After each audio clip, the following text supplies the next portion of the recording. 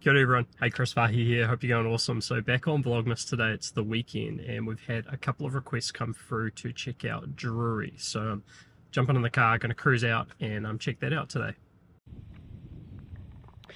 Right team, so just arrived out in Drury. Now not going to lie, it's a bit of a pain getting a good vantage point on um, exactly what's going on, but this is I guess, the edge of some of the town centre development. Um, as you can see, they're sort of kicking into the major earthworks at the moment, and um, definitely a little bit of a pain to get a good angle without getting like a helicopter or a drone up. Um, but yeah, we might cruise around and see if we can find a slightly better angle. Alright team, so slightly better vantage point, right? So this is just the edge of some of the major earthworks. And so a um, little bit of background on this, right? So this is the um, sort of Drury, I think it's town centre slash Drury East um, development area. And so there's three major landowners, Kiwi Property, Oyster Capital and Fulton Hogan, who have pushed through the plan change. Um, if you've been following it, got held up for a little while.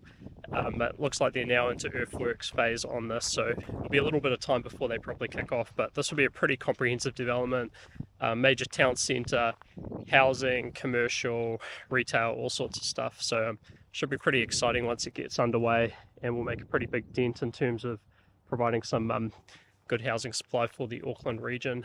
Um, so look, with that said, we'll cruise around, see if we can find some other vantage points, and um, also check out the Drury industrial area while we're down here.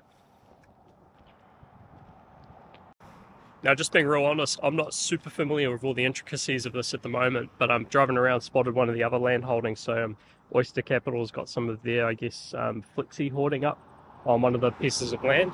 And um, as you cruise around, you can see that they're also um, doing some earthworks at the moment as well, maybe just in the early phases.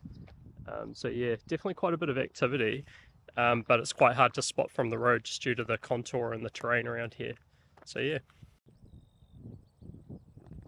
So our second and probably final stop today is the Drury South um, industrial area. And so you can see that they've obviously got earthworks underway at the moment, um, but they've also got a bunch of the vertical construction coming as well. And this is one of the areas that you can see from the motorway just kind of running alongside it. Um, so pretty cool to see some progress down here. Now, I believe a lot of the land for this was associated with the old quarry site um, which you can just sort of see over there. Um, but obviously to get it ready for um, the vertical industrial construction, they've had to do a whole lot. And I assume these um, like wetlands and that type of stuff's all new as well. Finally for today's vlog, I wanted to check out this building here, which is the Cardinal Logistics Facility uh, down in Drury South Crossing. Now, a couple of things that make this one interesting is apparently the building's got a very high level of automation in it, um, which makes sense as the cost for things like warehousing, staff, that type of stuff increases, that we'll see more firms looking to automation. The other thing you'll notice is that it's got a huge breezeway, um, so covered area down the side of the warehouse itself. And this is something that we're seeing more of as um, logistics operators want a really nice covered area to do loading and unloading.